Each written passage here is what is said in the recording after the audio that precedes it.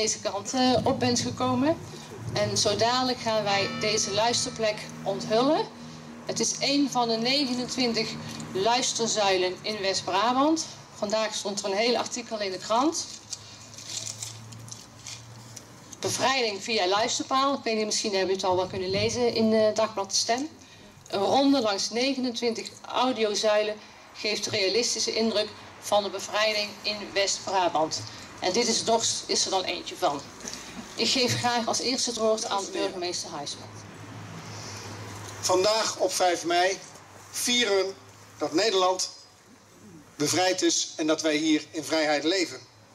We vieren dat we in 1945 bevrijd zijn van de Duitse bezetting. In Europa. En in Azië van de Japanse bezetting. En dat we sindsdien in het Koninkrijk der Nederlanden vrij zijn van oorlog en onderdrukking.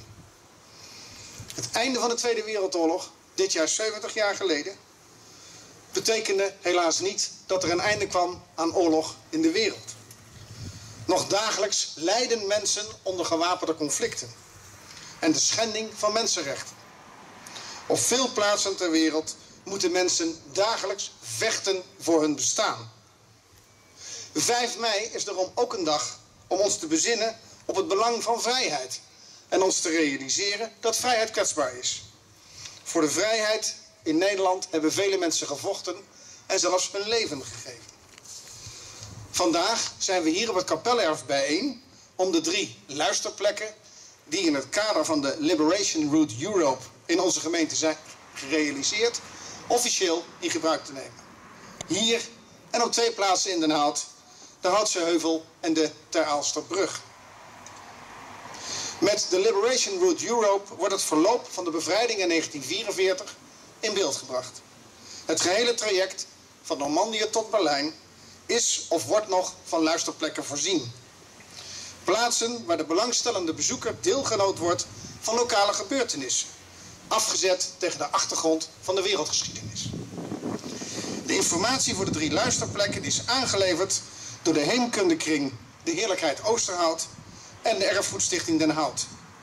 En zonder daarbij anderen tekort te willen doen, wil ik er één heemkundige Jos van Alf. Autoriteit op het terrein van oorlog en bevrijding in onze gemeente, een stuwende kracht achter deze luisterplek. Helaas kan hij deze onthulling niet meer meemaken. Zo dadelijk zal nog een postume hulde aan hem worden gebracht. Ik zal me dan ook beperken tot het uitspreken van de zeer grote waardering, zijn passie en vooral zijn vasthoudendheid. Ik sprak er meer dan eens met hem over. Die het gemeentebestuur heeft voor de grote inzet en betrokkenheid van Jos van Alphen. Tot slot wil ik allen graag danken die zich op enige wijze hebben bezig gehouden met de realisatie van deze Liberation Route luisterplekken. Op drie plaatsen in onze gemeente hebben we er een belangrijke herinnering aan onze lokale geschiedenis bijgekregen. En dat vinden wij heel belangrijk. Het zijn belangrijke plekken die we hebben. En ik hoop dat er heel veel gebruik van zal worden gemaakt. Dank u wel.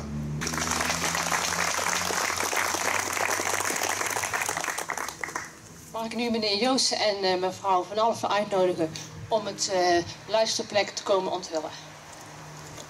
Met een schaartje.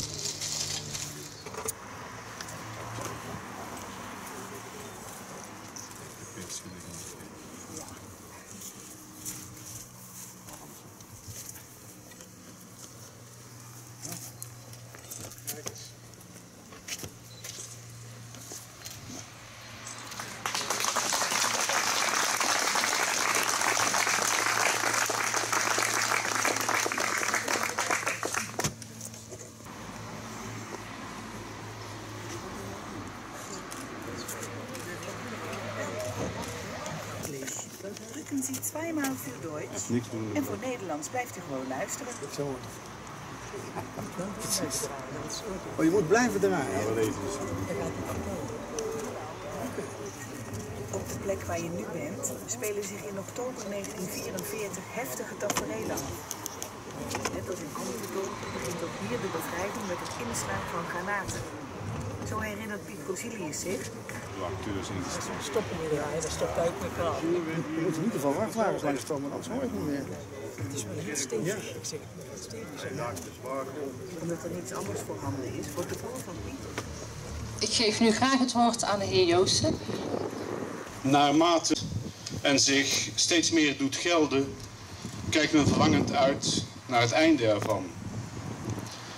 Het nieuws van de geallieerde landingen op D-Day 6 juni 1944 in Normandië zijpelt langzaam door.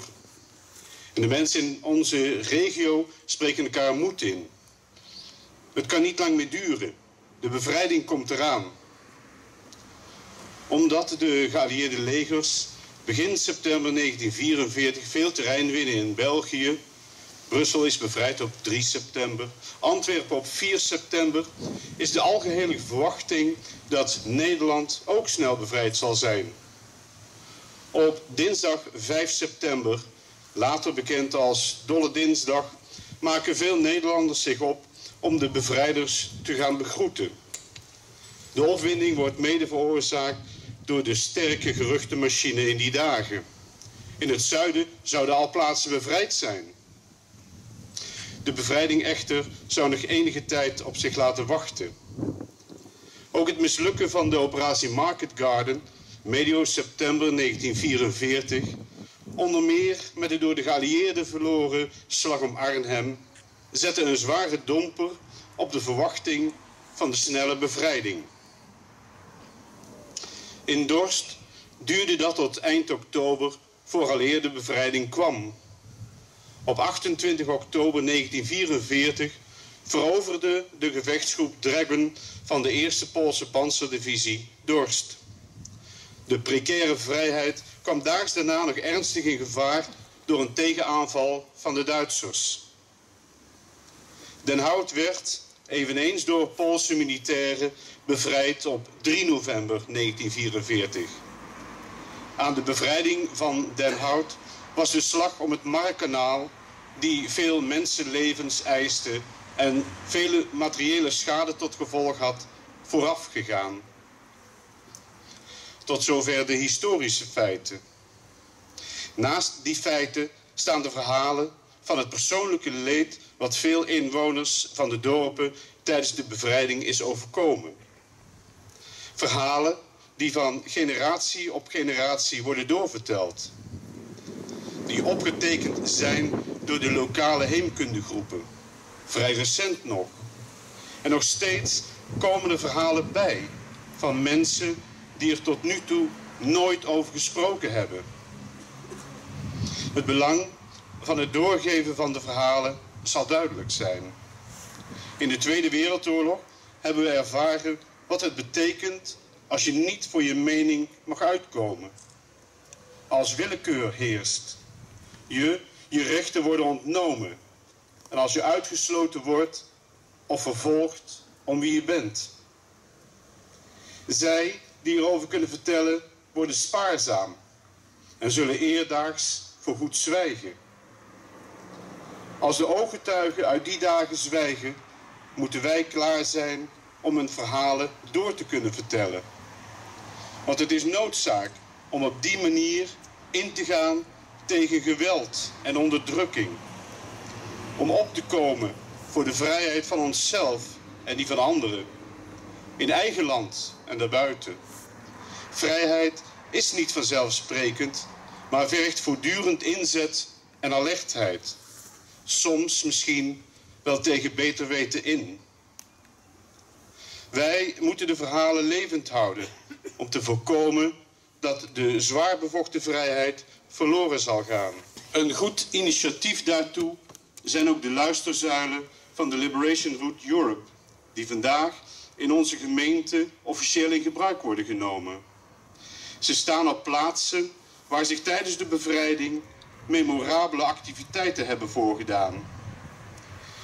De drie plaatsen zijn een weloverwogen keuze geweest van de betreffende heemkundegroepen, de Heerlijkheid Oosterhout en de Erfgoedstichting Den Hout, die zich daarbij hebben laten leiden door de kenner van de lokale oorlogsgeschiedenis bij uitstek, de in februari van dit jaar overleden Jos van Alphen hier uit Dorst. Hier op het kapelerf wordt in beeld en geluid het verhaal verteld van de bevrijding van Dorst. Op deze plaats sneuvelden twee Polen en vier Duitsers. Vier Poolse soldaten werden gewond krijgsgevangen genomen.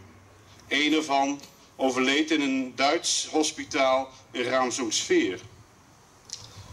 Ook is er aandacht voor het persoonlijke leed van Dorstenaar de heer Corsilius, die op de ochtend van de bevrijding, 28 oktober 1944, zwaar gewond, zwaar gewond raakte aan zijn been door volkomen onverwacht afgeschoten granaten. De luisterzuil aan het Markkanaal, nabij de Teraalsterbrug, vertelt hoe Poolse militairen in de vroege ochtend van 3 november met vouwboten het kanaal overstaken om er een bruggenhoofd te vormen als onderdeel van de slag om het Markkanaal. Het lukt de geallieerde soldaten uiteindelijk het Markkanaal over te steken met behulp van een Baileybrug die de naam Success Bridge kreeg. Dat gebeurde bij de eerste sluis over het Markkanaal in Oosterhout. Op diezelfde dag wordt de moeder van Maria Winde uit den Hout getroffen door een granaatscherf. Als zij dreigt dood te bloeden, gaat Maria bij een in de buurt gelegen boerderij verband halen. Omdat de beschietingen over en weer zo heftig zijn, probeert boer Johan Rovers haar op de boerderij te houden. Maar Maria wil per se terug naar haar moeder. Later die dag wordt ze vlak bij huis dood aangetroffen. Geraakt door granaatscherven. Het verband nog in haar hand geklemd. Ook Jos van Alphen, die als twaalfjarige jongen de bevrijding van Den Hout meemaakte, komt aan het woord. Hij zegt, toen ik uit de kelder kwam, scheen de zon. En de kleuren waren mooier dan ik ze ooit had gezien. Ik leefde nog. Maar helaas, op deze vreugde kwam snel een domper. Want alles, maar dan ook alles, was kapot. De herinnering aan de angst en de gebeurtenissen rond de bevrijdingsdagen zal Jos van Alphen de rest van zijn leven met zich dragen. Hij zegt, je raakt het nooit meer kwijt. En er zijn nog zoveel verhalen over te vertellen. Ook vanuit dat idee heeft Jos zich enorm ingespannen om de luisterzuilen in onze gemeente vorm te geven. In overleg met alle betrokkenen en niet in het minst met de gemeente Oosterhout zijn de plaatsen van die zuilen bepaald.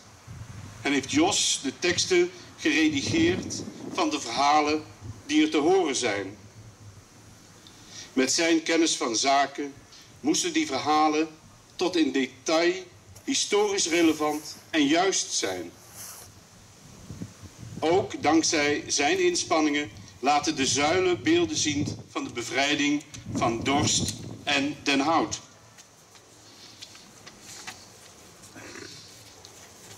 Dankzij zijn volharding kunnen we trots zijn op het resultaat. De drie luisterzuilen die we vandaag in onze gemeente officieel in gebruik kunnen nemen. Het proces daartoe verliep niet altijd even gemakkelijk. Ontelbare telefoongesprekken, e-mails en bezoeken aan personen en instanties waren daarvoor nodig. Een enkele keer verzucht Jos in een e-mail aan ons: het loopt weer eens op vierkante wielen. Niet iedereen kon zijn kritische houding altijd waarderen. Maar getrouw aan zijn perfectie en trouw aan de waarheid kon hij niet anders. De drie luisterzuilen in de gemeente zijn onderdeel van de Liberation Route Europe. Een steeds uitbreidende internationale herdenkingsroute die belangrijke mijlpalen uit de moderne Europese geschiedenis met elkaar verbindt.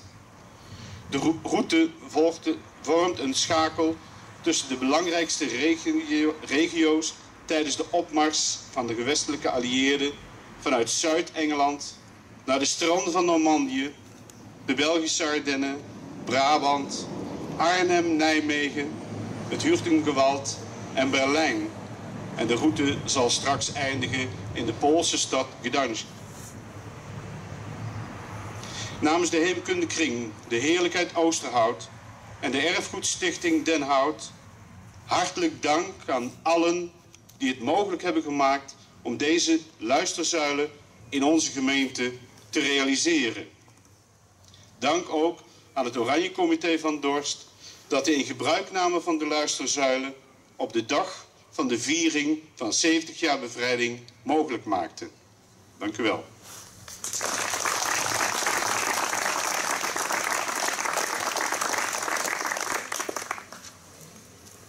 Ik wil graag eh, de heer Van den Berg uitnodigen. Dames en heren, goeie avond. Jos van Alphen. Ik leerde hem kennen via de Liberation Route. Ik ben de schrijver van de Luisterzuilen in West-Brabant. En ik heb met Jos nauw samengewerkt aan de verhalen in Breda. En ook hier in de gemeente Oosterhout. Bij de zuilen in Terhaalst, Den Hout en hier in Dorst, vlakbij zijn eigen huis. Op uitnodiging van de voorzitter van het Oranje Comité wil ik graag een woordje doen over Jos. Jos zelf is bezig geweest met het organiseren van deze onthulling, maar heeft dat tot mijn grote spijt niet meer mogen meemaken. Ik weet trouwens ook zeker dat als Jos vandaag erbij was geweest, het wat hem betreft had moeten gaan over de gesneuvelden en de slachtoffers en zeker niet over hemzelf. Dat is wat ik in de korte periode dat ik met hem omging heb meegekregen van hem. Hij stelde zich heel bescheiden op. Hij stelde zijn nooit aflatende onderzoek ten dienste van anderen. Van hen die het volgens Jost echt verdienden. Hij heeft heel veel geschreven over de Tweede Wereldoorlog in deze regio. Zijn research was onmisbaar om de verhalen erover bij deze luisterzuilen te kunnen vertellen. Verhalen die getuigen van de verschrikkingen van de oorlog. Verhalen die niet vergeten mogen worden. Toen ik Jos boek De Slag om het Markkanaal las, vond ik in het slotwoord een heel persoonlijke noot. Als jongen van 12 was hij na de gruwelen van die slag uit een scheldkelder in Den Hout tevoorschijn gekropen. En hij had, met de ogen van een kind, de verwoesting en de ontreddering van nabij gezien. Dat gaf mij het idee dat het verhaal van deze man verteld mocht worden. Ooggetuigen. En die getuigenis, door die getuigenis, levenslang op zoek naar antwoorden. Denk je dat Jos heel enthousiast was dat ik zijn verhaal koos voor Den Hout? Nee. Ik zocht hem afgelopen september op, hier in Dorst. En hij voelde er zich wat ongemakkelijk bij. Het gaat niet om mij, zei hij. Uiteindelijk gaf hij toch toestemming als ik dan wel nog iets zou toevoegen aan het verhaal. En dat is het verhaal van Marie Winde. Die tragisch omkwam toen ze verband probeerde te halen voor haar moeder, die ernstig gewond was. Zo leerde ik Jos kennen. Vertel alsjeblieft die verhalen van de gesneuvelden en de slachtoffers. Marie Winde was in zijn ogen de heldin. Diezelfde dag liep ik met hem hier door Dorst.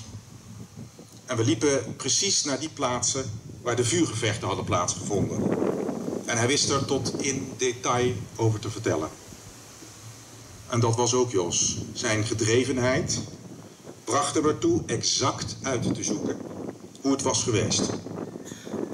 Hij wees me de plekken aan van de granaatinslagen die nu nog te, te zien zijn. Kleine oneffenheden in mijn script haalde die zonder mededogen onderuit. Want het moest allemaal wel heel precies kloppen.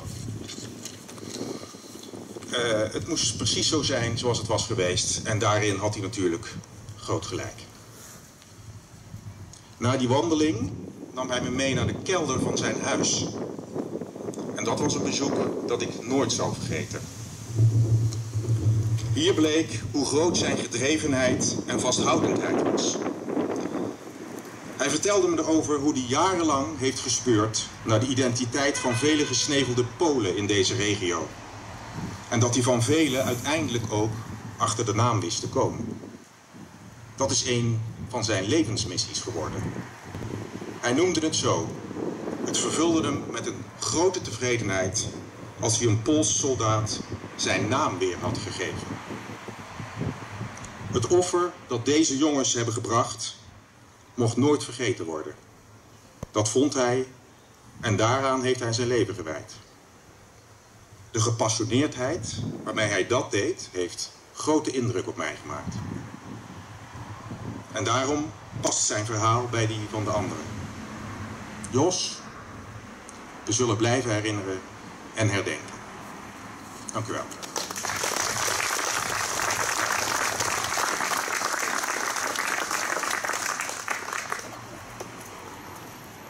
We gaan nu luisteren naar een Poolse volkslied.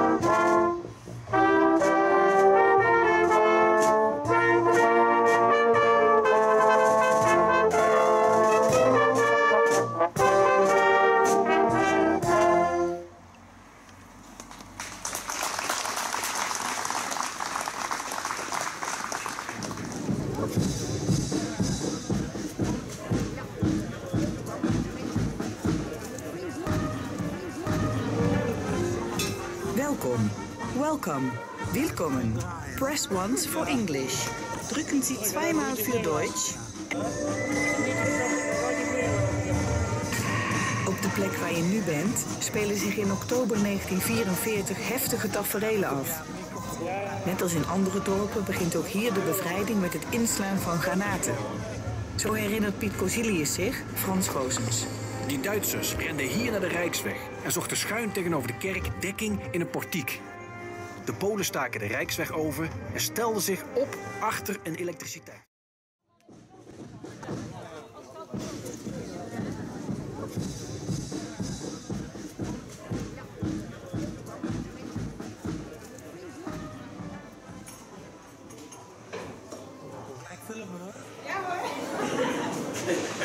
Als